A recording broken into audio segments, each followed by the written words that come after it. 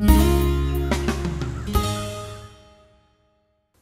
everybody, it's Brad from the Big Family Homestead channel, and in this video I'm going to share with you six cool, unusual, odd, or maybe just not so well-known uses for rubbing alcohol. So let's get cracking.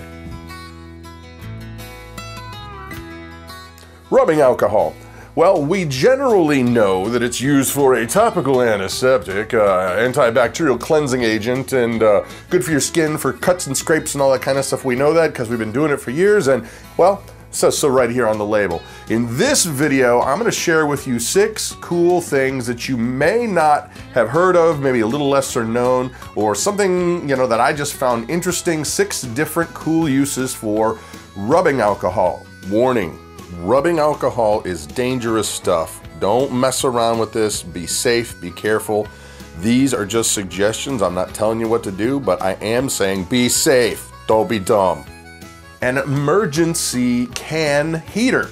That's right, you can take a, uh, you know, remove the core of a toilet paper roll. By the way, I have a video for this if you want to check it out um, on how to do it, but it's really easy. You, you remove the core of a toilet paper roll and you ram it really hard, the toilet paper down into a painter's can, an empty painter's can. You fill it up with that rubbing alcohol and it makes a fast, clean burning heater that will heat up a room real quick. So an emergency heater, be careful though, the, uh, the, uh, the, clearly the alcohol is very flammable. You don't want to catch anything on fire. That would be very, very silly and unnecessary. Be careful. You can use rubbing alcohol to spray on a window that's frosted over. Let's say that you got to get gone and you don't want to be out scraping your windshield. Uh, so what do you do? You just take out some old spray, spritzer spray, uh, spray down the uh, windshield, and it will just kind of slosh right off, and you are on your way, easy peasy, lemon squeezy. You can use rubbing alcohol as a way to clean a candle. Not a lit candle, mind you, that would be very silly. Once again, the flaming and the burning and the no, no, no, not a lit candle. But let's say that you're like, you know, I don't know, me, and you have some candles laying around that you haven't used in a while, and they get a bunch of uh, dust in there. Well, you're just gonna take just a little bit of rubbing alcohol on, say, a washcloth or a rag of some kind, you clean it out like that and then you leave it sit. Leave it sit, let it air out, let all those fumes go away for quite a while. But then you don't have the whole thing happening if you light the candle and there's like a half inch of dust in there. So there you go, cool use. You can use rubbing alcohol as a way to get ticks off of your pets, your animals, your livestock a lot easier.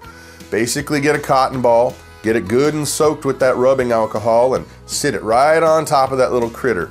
It's doesn't they do not like the smell and they're gonna try and wriggle away and wriggle away. And then all you gotta do is just gently remove them kill that beast get rid of it whatever you're gonna do and then clean off that area with the rubbing alcohol. So bam another stinking awesome use. You can also use rubbing alcohol as a shapeable ice pack.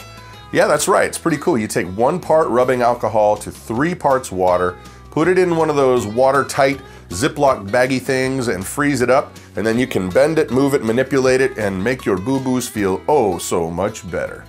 And lastly but not leastly, at least for this list, you can use rubbing alcohol in a fine mist sprayer to get rid of pesky fruit flies and gnats.